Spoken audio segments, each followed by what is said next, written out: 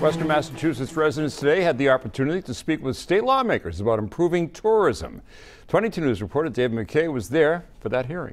Residents shared their concerns and ideas related to arts, culture, and tourism in the Commonwealth. The Joint Legislative Committee on Tourism, Arts, and Cultural Development held their first hearing in a statewide listening tour today. Tourism is the state's third largest industry, and local assets like the Basketball Hall of Fame, the Berkshires, Six Flags, and the array of museums in Springfield that have significant historical value were discussed.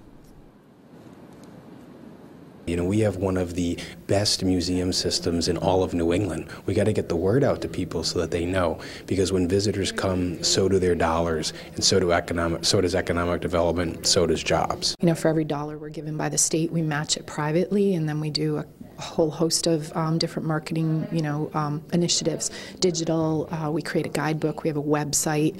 Uh, we're reaching out to all our market segments.